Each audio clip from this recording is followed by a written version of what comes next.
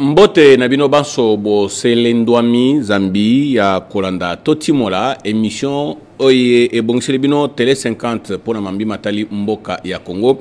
lelo tokolobela mpenza boyei ya bai nations unis o mboka ya congo mpo ete bamimonela mpenza na miso na bango maye makoleka kuna na minyele ya mboka na congo epai wapi rwanda na bamampinga na ye bakokata seleka se koboma bai mboka congo mpo na kosilisa bomengo asa mabele ya mboka na biso awa nazanga moko te nayambeli bino pati malanga ye ali bongo moi union sacré na ye mpenza tokoyeba eloko nini tokozela na boye ya bai monisco tokolobela lisusu mpe mambi matali justice militaire ya mboka na biso depute mwangashusha oyo ali mpenza na maboko ya justice mpamba te bakutaki mandoki na koyoka baye bafundi ye mandoki na bilanga to mpe lopango na ye bakutaki mpe mandoki na ndako na ye awa kinshasa tokoyeba esika wapi tokende na bai politiki ya mboka congo mwana mboka pati malanga topesi mbote Oui, mbote mingi mwana mboka Jean-Marie Kazambu, mbote na bakongomani bakolanda biso bipai na bipai, sans oublier ba diaspora bayingelo mboka Angele, na pesi longonja mpe na leader wa ngai autorité morale excellence Elysée Bokuma na Maposo, sans oublier tata mokonzi ya ekolo mwana mboka Felix Antoine Tshisekedi Tshilombo oyo akolala pongi te butu lokola moi, akoluka obele kimia ebana koyingela omonyele mwa ekolo ya biso Congo. tobanda awa rwanda na mampinga na ye paul kagame na mampinga na ye okati ya rwanda bakati seleka obele basilisa bai mboka ya congo mingimingi mpenza kuna na goma na koboma mpo na kosilisa ba bomengo ya se ya mabele na koyiba kuna awa lelo awa tomoni bai um, nations unies batindi bandeko na bango baya komitalela bango moko lolenge bato bakokufa na minyela mboka congo bino okati ya union sacré boniboni bokomona likanisi wana to mpe esaleli wana eske tokoki kolikya mbongwana mpenza na mayema koleka na minyela mboka na biso oui toza na elikya ete kimia ekoyeba koyingela okati ya monyama ekolo ya biso congo Sauf que Congo toyebi ke ezali entouré na ba hypocrites, ba scribes, ba pharisiens, y compris les sadducéens oyo baza kolinga kozala ouvert te vis-à-vis na situation eza kolekela biso na kati ya mboka ya biso Congo. Mais na bomoni mpe boyei ya bamoko ya ba représentants ya Conseil de sécurité ya Nations Unies banyati mabe ma, ba- banyati makolo ya bango kati ya engumba mboka ya biso Congo mpo na kotalisa quand même mécontentement par rapport ya situation oyo eza kolekela biso ngambo ya est komona ete mitema likundu ya bayi rwandais oyo babatami osima ya M23 pona koyeba toujours eh, kotia biso mbilinga mbilinga ikiiki okati ya etandi ya mabelo ya biso kuna na ngambo ya este tomoni ke balobi il faut baleka na kozwa bamesure ferme mpe fort mpona koyebisa na bayiki oyo bazali kotia biso mbilinga mbilinga kuna na ngambo ya este ya m23 mpona koyebisa bango ke baleka na korespecte moko ya badisposition to mpe moko ya baresolution oyo ebaki na kobima kolandisama na masolo oyo ebaki na kosolo na kati ya bujumbura e soki bakozala sensi ya koboya korespecte yango j'espère bien ke bango moko bamembre ya communauté ya sécurité na soki babiki bakoyeba sikoyo ndenge nini ya koaplike badisposition mosusu e mpo na biso eza kutu koluka koyeba te komona mpe kotala te mais mpo na biso ezali ke baleka na application ya badisposition mosusu ela vedi bazwa bamesure mosusu oyo quand même ekoporte un pouf de soulagement aux yeux ya bakongomani kolandisama na situation oyo eza kolekela biso yango moni nazongaki kaka lisusu mbangu mpo na koyeba na koapuye moko ya maloba ya mwana mboka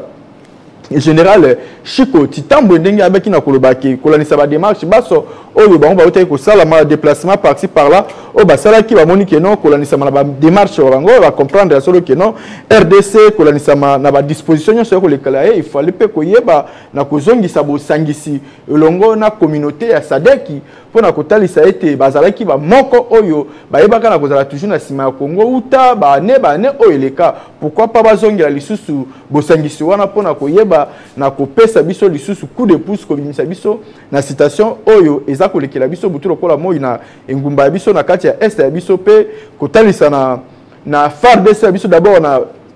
état major général ya fardc basili kotalisa ete ya solo boyei mpe ya sadek pembeni na biso ekozala mpe mwa moko ya pouf de soulagement parce que komona esaleli ya eac kolandisama na façon na bango ya kopriste ya kotalisa makambo bakokende na yango na ndenge elongobani te mpe bamesure baso eza kozwama eza kozala toujours euh, respecte te parce que tomonaki mikolo ute koleka awa bayi m23 balobi ke bazali prêt mpo na cesse le fait mais bazopousse bacondition ke tokende na bango na dialogue dialogue nini oyo tokodialogue na bango les terroristes de m23 oyo bayebi na komassacre biso pendant longtemps toza na temps ya konégocie na bango te sauf ke tokoaplike bamesure sévère oyo ekotalisa ke bango bayeba na kotika mabele ya biso mpe kozonga bisika oyo bawutelaki yango wana naza toujours koincline na maloba ya mwana mboka Général Chico Titambo alobi qu'il y aura plus la négociation avec des rebelles M23 mais ko appliquer force nyo seko sala ke mabelo ya biso ezala toujours récupérer na maboko ba ko appliquer force ya li malamu kasi na boye ya bayi Nations Unies lolenge okolo boye bi ke Rwanda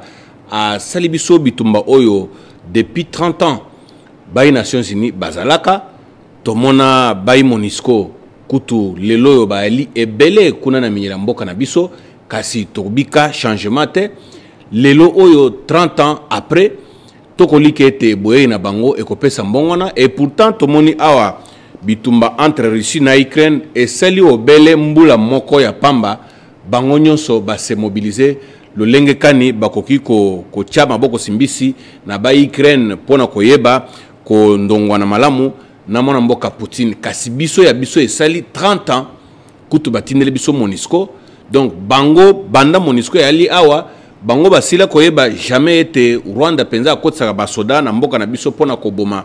mpo na kosabote mpe koyiba eh, bomengo ase mabele na biso obe ntango baye awa nde ekopesa mpenza eyano aussi longtemps ke biso mpe tosi toyebi ke bango moko mpe nde moto bazalaka nsima ya rwanda est ce que boyei na bango ekochange eloko to mpe ekomemela biso nini ya sika Euh, mwana mboka jean marie yango omoni nazozala toujours derrière maloba ta mokonzi ya ekolo toyebi ke hypocrisie eza makasi mais ce qui est important topesa confiance na chef de l'état félix antoine tshisekedi kolandisama na diplomatie na ye azala kosala avec tactique de jeu oyo aza koappliquer pour ke toyebana kozala quand même euh, euh sensé ya kozala sire certain que l'aide de ces quatre matins euh, baégyptien oyo toza komona oyo baza kotia biso mal à l'aise oyo baza kotia biso bilinga bilingo kati ya est tokomona bango lisusu te lelo oyo grâce ya mwana mboka félix antoine sekedi nde tocomprendre que la rdc est agressé par le rwandais totikalaki koyeba yango te lelo alobi yango oyo fort mpe monde entier econfirme yango mpe monde entier baprendre acte e na koprendre acte wana tocomprendre que non bosambulu oyo baterroriste ya m23 bazali kosala au niveau ya est ya biso ezali bango te bazali sous couvert toujours na rwanda oyo azali korenforce bango oyo azali koappuye bango oyo azali kosala manso ke aza koalimente bango ke bayebaka toujours kotia biso mal à l'aise mais toza sire certain ke makambo oyo tokometre yango fe mais d'abord biso moko nano bacongomane tozala nano conscient omoni l'initiative namonaki bandeko ya opposition bayebaki na kosala kolandisa mokolo alobi euti koleka awa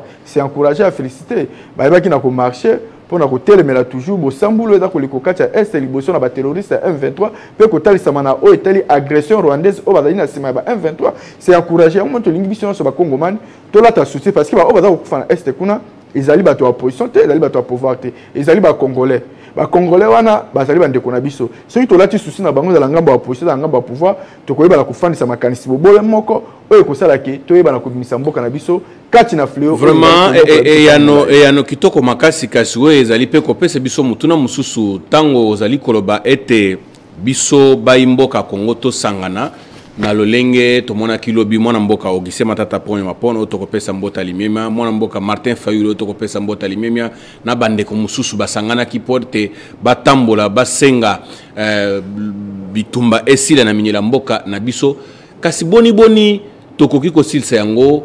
alors que toyali mpe na bandeko mosusu oyo baye bakomibenga bacongolais oyo bakosala misala elongo na batomboki ba, ba to mpe basoda ba, ba, ba ya rwanda oyo bakoya awa bandeko moko ya congo nde moto bakofungola bango bikuke ndingisa tomonaki awa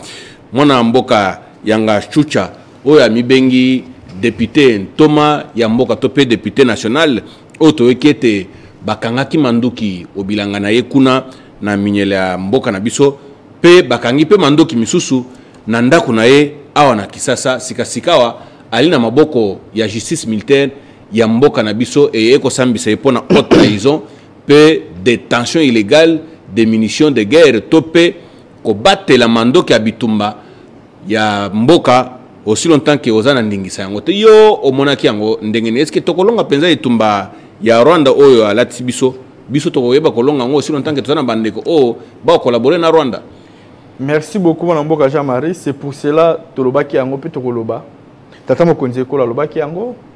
ntango asalaki appel ya mobilisation générale mpo na kolukaki bana mboka nyonso to balata susi ya likambo eza kolekela biso kati ya este mwana mboka mboso président ya assemblée nationale mbote bisika azwami ayebaki na koyebisa bango meme badepute alobelaki bango ikompeme basénateur oyo baza na nsima makambo eza kolekela biso na este ayebisaki bango badepute basénateur bobima o kati ya bisika oyo bozali koentretenir batroupe de terroriste batroupe de rebelle mpo na koseme toujours terreur mpo na koseme toujours ma massacre au niveau ya est mpo na baintérêt na bino égoïste mpe personnel vous voulez toujours sacrifier les congolais vous voulez toujours s'enrichir sur le sang des congolais mpo na baintérêt na bino moko privé et égoïste alobelaka bango yango e bato mosusu bandaki kolobaka ezali utopie bato mosusu bandaki koloba kaka ezali eloko moko ezanga nango ntina mai nzoka ye makambo wana mboka mboso alobaki ezali ya solo la rdc biso moko bakongoman nous sommes entourés par les hypocrites les scribes les pharisiens les sadissayen en quelque sorte toza na bolingo ya mboka oyo te toza komikosaki toza bacongolais mais en réalité tozaka na biso tokani bacongolais te ebele baza wana bazali banationalité doutese ya solo bahypocrite balingi congo te comment fait-il ke yo mwana mboka ya solo oyebi ke bisika oyo ofandi eza mabele na yo eza mboka na yo mais vous acceptez ya kopesa accès na bidongolo miso mitema likundu bacriminel baterroriste bakota mpo na komassacre bandeko na yo pour ke bozala kaka babénéficiaire ya bamatière première ya mboka na biso pour ke boyeba kaka na koprofite na richesse ya mboka na biso est ce que okoki koluka kozwa richesse oyo na voie normale te na ndenge elongobani te kaka ya kondima kotangisa makila bakongomani pour ke oyebana kosarichir eza na ndenge moko elongobani te yango omoni tanke tozozala toujours infiltre ntango nalobi ke non makambo eza koleka biso na este c'est un tout eza un processus ezali eloko moko ya facile te parce que kozwa na armée nous sommes infiltrés na baservice ya renseignement ya sécurité nous sommes infiltrés na politique ya congo nous sommes infiltrés na administration toza infiltré yango moni lea mo toza kosalaka appel na bingumba mosusu ya bamapinga na bango baya kotia biso apui nde namoni lelo a lende se 4 matin armée angolaise ba ko nyata mabele ya biso ya Congo pour la koyeba toujours na ko appuyer biso na situation koleka biso na est ce n'est pas pour rien parce que biso moko bana mboka soki otali malamu la plupart mitema likundu bidongo na miso baza na bango na souci ya changement te mpo na bango soki kimi ekoti na est bango bakomi bapauvre et pour ke bakoma bapauvre te balingi kaka desordre ekontinaka na est pour ke bango basenrichir sur le sang des congolais batonga baimmeuble babala basi 100 200 mpo na bango nde malamu yango wana aussi longtemps ke bango baza kokufa wana est ce que ozali kokanisa ete motu oyo abyangami député national ali mpenza civile ayeba kozala na mandoki ya basoda sans que azala na boyokani na basoda oyo bakopesa ye mandoki wana mais mwana mboka jean marie la vérité finira par triompher bacivile wana ozomona bango wana oyo baza koloba kesoi eza baza bacivile baza na bamandoki soki bazali, bazali na mwa entré moko boye na nsima ya baelema ba oyo bazali koka mapinga mpo na koyeba na kosalaka bango ke bazalaka na contrôle ya babiloko wana bibundela basoda cela veut dire que non toyebi bango baza ko entretenir toujours bango parce que ye député wana soki olandi député mwanga chucha wana ye bamibundelo bamoni na kati ya ferme wa ye baarmement na ferme wa ye bamoni lisusu ntina ndako wa ye e soki otali malamu banani oyo basalaka ke ye azala babiloko wana cela veut dire ke ah, ye tout un réseau réseau wana ezalaka alimente nde na ye ezalaka alimente nde na ye eye moto azali auteur mpe coauteur ya bamakambo nyonso to wana mais atravaillaka connivence na banani na ba militaire oyo ye andima kozala na bango associé pour que basacrifie bakongomani mpo na baintérêt na bango personnel e égoïste eme lelo tokolinga nde jisambuka na biso esala makambo na molongo ntango bokangi bongo lobi toyoka te ke batiki ye parce que toyebi ke soki makambo ekotambola malongo te en quelque sorte ya mpe justice na biso ya fautif justice na biso tokobomba makambo ebele justice na biso ekosala mpe makambo ya ndenge elongobani te bosambuli ebatami mpe makasi na kati ya justice na biso si 100% ba dossier dans la carte ya justice omona que 70% ezali mal administré administré à cause ya nini ya bitema likundu oyo babatami mpo kata ya justice na biso tolingi balandela makambo wana na la loupe na ndenge elongobani pour que babimisa singa matembele oyo ebatami na nsima ya mwana mboka honorable mwanga tuta parce que aza ye moko te baza ebele ndenge mwana mboka mboso alobaka peut-être na nsima na ye akotanga bakombo ya ba hypocrite ba scribe ba batami awa awa awa lobi lobi awa tokoyoka lisusu nous ressortissants tozali kosenga batika oyo pamba te soki minorité soki majorité toboyi bakosouffrir biso parce que toza minorité mais nyoki soki ozomona banu banu wana ezokutana nini baza kolinga biso to continuer kozala na vie ya pasi to continuer ko souffrir pour que bango bayebaka na koya ko corrompre biso na babiloko bango baza kosalaka wana kasi ayebi ke ntango ye azozala na mbongo biso tozalaka toza kosapauvrir de plus en plus toza kosapauvrir ye soki asali mabe oyo ezali mpona intérêt na ye mais au détriment ya peuple congolais ayebi ke peuple wana koamake bango mwa moke difafafa pour ke batelema baganga lisusu banu wana nde bamesana ya nu toboyi impunité toboyi biloko ya mosambulu ya modele wana na mboka na biso tolingi yango lisusu te parce que tozana besoin mboka ekende liboso bino mpe bayi union sacré mboka ekende liboso kasi mabele nyonso ya mboka bokosisa na spoliation yebisa nani biso toyoki moto epeli awa na concession ya itex africa toyoki sango ke boteki lisusu wana nde kotonga mboka yango wana na, na union sacré en tout cas mwana mboka jean marie kolanisama na citation eza koleka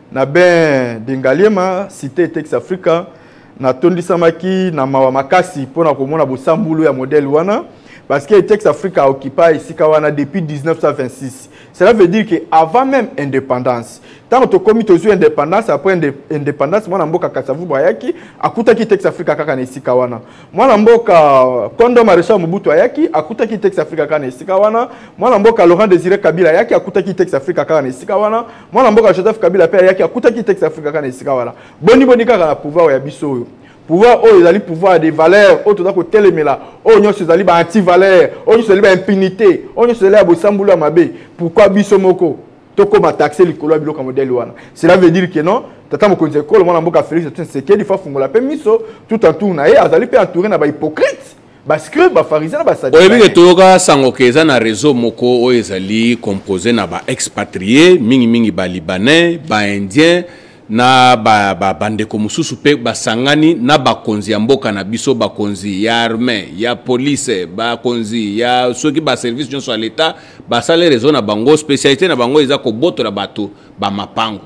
ebongo sikoyo soki réseau wana esi eintegre mwana mboka félix sekedi yo okoloba ndenge nini mais non il faut todénonce biloko ya modele wana parce que tokoki kolinga yango te lit oyo biso tobunda na idps esi ezali pendant 37 ans ezalaki lit ya bosambulu te ezalaki lit oyo efandi na bavaleur na baprincipe kolandisama badisposition ba nyonso ezalaki bien requise tofandisaki bitumba na biso kolandisama na moboko na yango na nzela ya état de droit na nzela ya démocratie na nzela ya justice mpe progrès social eboni boni lelo tokomi na ngwende ya pouvoir yango mpo na nini te tokoyeba na kotambwisa mboka kolandisa baprincipe oyo biso tolingaki ke lelo oyo ezwa place okati ya mboka na biso boni boni mitema likundu bidongolo miso bakoya mpo na koluka toujours koyeba na kodestabilize pouvoir mwana mboka félix antoine tshisekedi mpo na baintérêt na bango égoïste et personnel bakoloba question ya bacongolais pati malanga moko ya bacoordonnateur ya bacommunicateur ya changement pour la nation congolaise membre de l'union sacré akomisi kotelemela baoyo aye ya pouvoir mpo na nini non na kotelemela bato nyonso tu oyo bazali kotambola na ndenge elongobani te kolandisama na biye ya ngaliema oyo batie mayele ba bango miso ya bango na ndenge ya malamu te mpo na koyeba na koconstruire mpo na koyeba na kookipe anarchiquement bede ngaliema na ndenge elongobani te osi lotake biso totelemelaka biloko wana mwana baresponsable ya esika wana ya, ya, ya, ya itex africa azali expatrie azali moko aya na mboka oyo depuis kala baza bato efo tobatela bango toboma bango après avoir koleka na bamipepe bambonge nyonso eleka na mboka oyo uta baturbulence nyonso tout sur le plan économique politique avant indépendance après indépendance ayebaki na kosibiri yango ayebaki na kofanda boni boni kaka lelo oyo boya koluka ke non place wana ee eh, non baluka mwaye ya kospoli yango place wana tokomi komona bakomi koramble yango ba mabele bakomi koluka mwaye ya kolotire yango par rapport ya nini aussi longtemps ke toza kose souvenir na arrete moko boyebaka na kosignale à l'époque ya régime ya mobutu par un certain ministre oyo abengami na nkombo ya koko nyangi aselaka koloba yango clairement ke place wana alobaki yango ke place wana ezali moko ya espace oyo ezali mpo na euh, l'état congolais des, des années et des années mais bakotikalaka jamais kopesa yango accès ya kotonga place wana bakotikalaka jamais kotonga yango ekotikala kaka bongo fo teni compte teni ya banini compte teni ya ba réalité écologique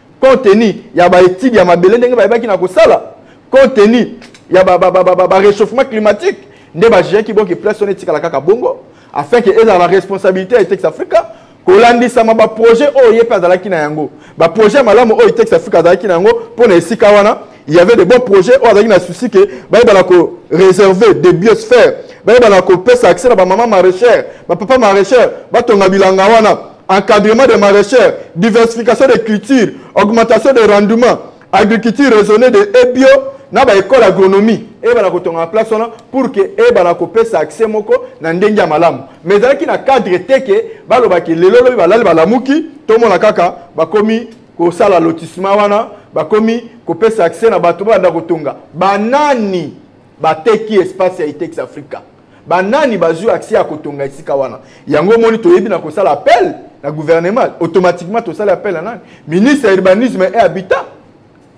na ministre ya affaires foncières mwana mboka puce mwabilu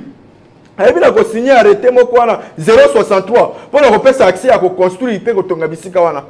au moment oye moko à l'époque alobaka ke place wana eza sense te ya koyoka kotonga esika wana par rapport ya baraison oyo ngai nayebi na kosouleve awa parce que soki otali bien touti kosibir conséquence moko makasi même na twit ya ye moko mwana mboka puisse mabila alobaki yango yai plus de 170 si je m'abuse pas de mort oyo euti kosalema awa récemment na inondation ya monene eutaki kosalema pamba te ezali pembeni na ebale merci beaucoup mais lelo oyo kolandisama na baconstruction ba, ba, ba, anarchique oyo lelo opération coup de poing ngei mpona koyebana kosala toujours kodemolir baconstruction anarchique tout consort koto oyo bazobuka koto oyo bazotonga anarchiquement koto oyo baza kotonga est ce que ezalaka place wana soki otali yango eza place moko te eza sensible ya kotonga na yango pe na yango pe na yango pe mwana mboka gentini ngobila aza sense koyeba makambo wana attitude na ye eza nini bakoki kotonga te jean marie soki otali place wana ndenge ezali terrain moko marécage soki mbula ebeti tokomi na ntango ya mpela mai etondaka na lube ti na, na kingo donc soki botongi wana yebaki ya la longue ekokoze kaka badiga mpe modele basali lisusu ya rivière modiba wana bazwi bakondisi yango meme na mpo modiba vous ne voyez pas kikokozela biso badega ozwi rivière makelele oyo eramenaka mai na yango ntina rivière modimba wana ndenge bakondisi yango bongo à la longue ekokoze biso badega ba inondation oyo population ekozala victime meme na bango bakoluka kotonga wana bakozala victime parce que kotala déjà place oyo eza na ebale eza propriété mpona kotonga resi des eaux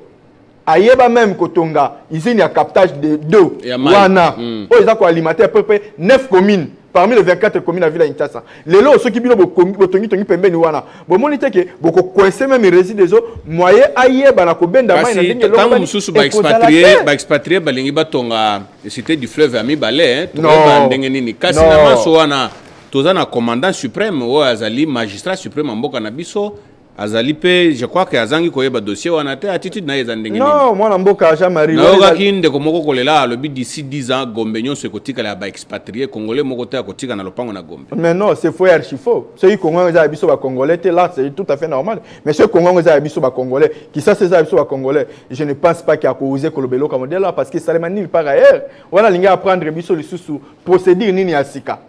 Esika oyo toyeba yango depuis kala, depuis 1926 batikala kotonga te. Kaka lelo babanda kotonga par rapport ya nini et en guise de quoi? Et toyoki ke bato batongi basongi biso bisika wana kaka bakonzi. Kaka baya tina azoloba bango bamiyebi. Mais nakoloba ke oyo baza kosala wana ezali babengaka yango clientelisme. to mpe conclusion ezali repréhensible vis-à-vis na loi ya mboka na biso mpe kolandisama na mobeko likonzi soki nake lisusu plus loin nakoloba ke non soki tokei na memi yango na aspect politique ndenge nauti kolobela soki na memi yango na aspect juridique nakolobela sikoyo nini titre oyo ya depuis 1926 ndenge nini bokoki koexplike ke ezala respecte te omoni te ke eza na molongo te yango moi nayebisi ministre ya urbanisme et habitat ayebaka toujours na kotenir compte na badossier nyonso antérieure il faut ayebaka toujours na kotia makalisi mpe mayele wa ye kolandisama na badisposition nyonso to antérieure olie kozwa badécision mbala moko par rapport ya koyeba meme mpe na kosala appel na baexpert ya mabele avant kobimisa arrete il faut mpe nano kosala appel